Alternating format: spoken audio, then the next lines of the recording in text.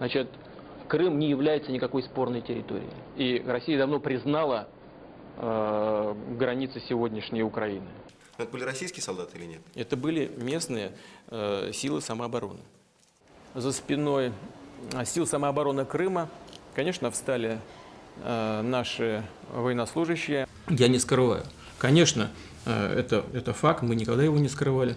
Э, Наши вооруженные силы, прямо скажем, блокировали вооруженные силы э, Украины, расквартированные в Крыму. Хочу, чтобы вы меня услышали, дорогие друзья.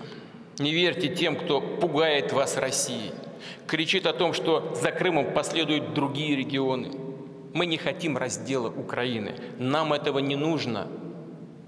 мною принято решение о проведении специальной военной операции. Подчеркну, в боевых действиях не участвуют и не будут участвовать солдаты, проходящие срочную службу. И не будет проводиться и дополнительный призыв резервистов из запаса.